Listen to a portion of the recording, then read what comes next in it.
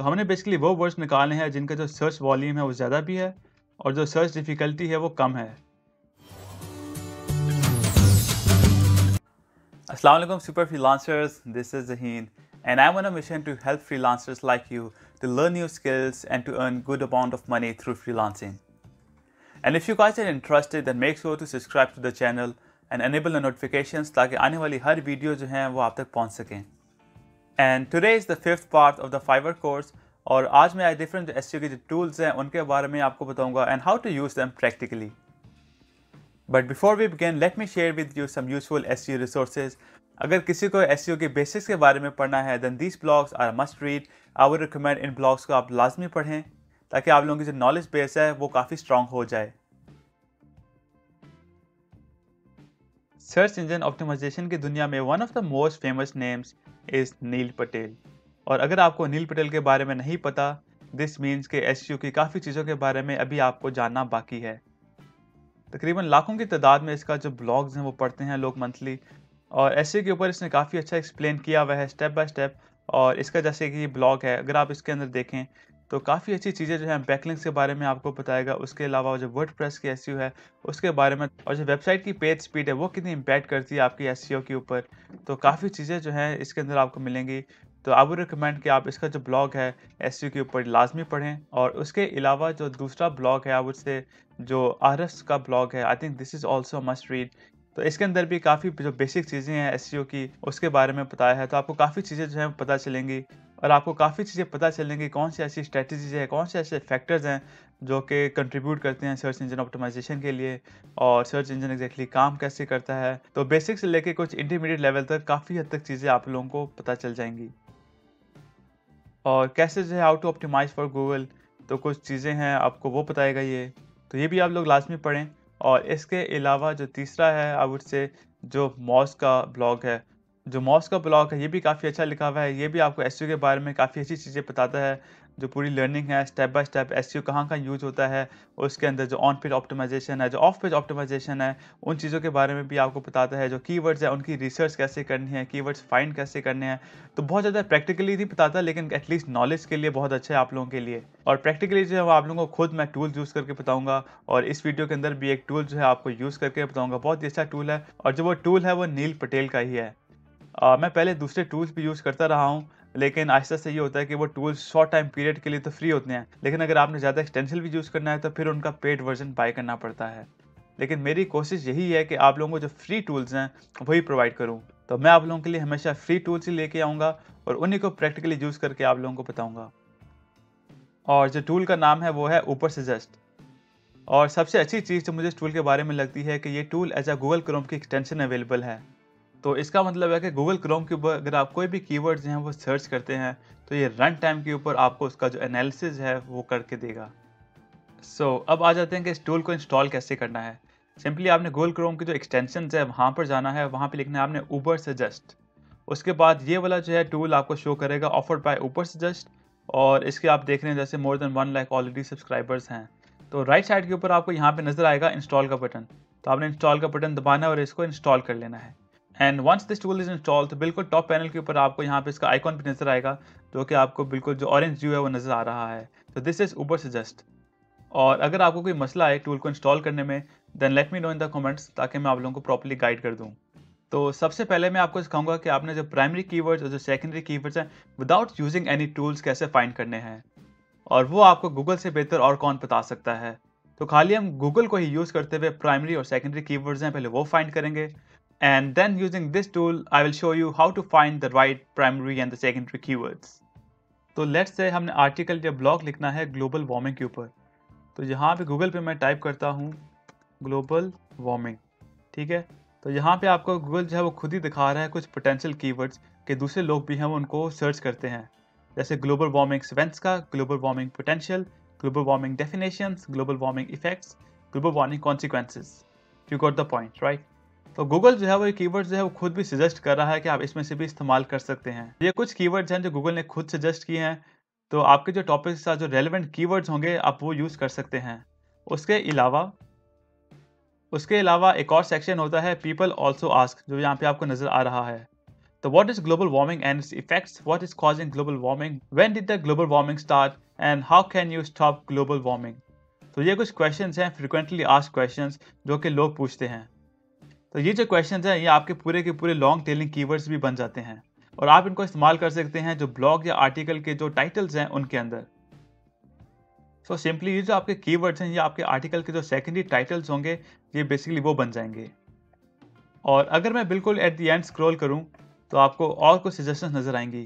जैसे searches related to the global warming global warming meaning global warming paragraph global warming causes global warming ऐसे तो ये जो keywords हैं, ये भी बेसिकली आपके प्राइमरी सेकेंडरी कीवर्ड्स बन सकते हैं।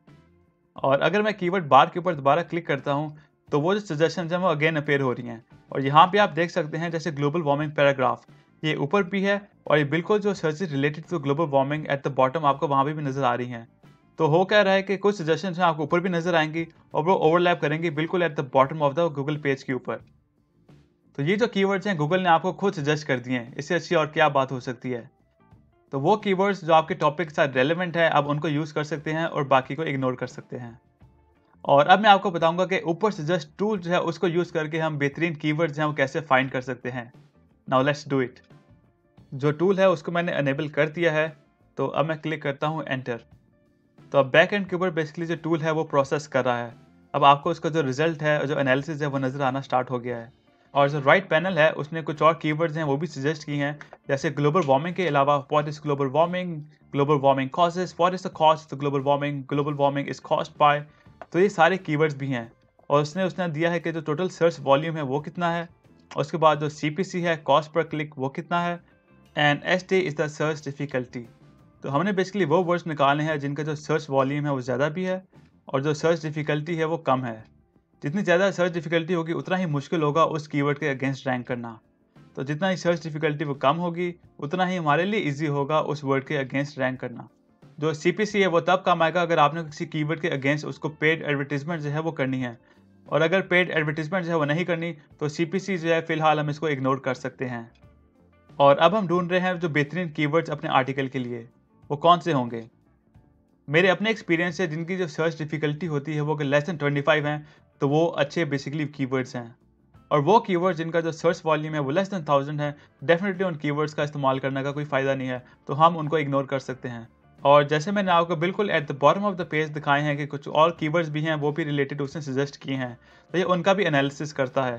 जैसे global warming meaning global warming paragraph तो यहाँ पे उसका जो काउंट है टोटल सर्च वॉल्यूम वो भी नज़र आ रहा है।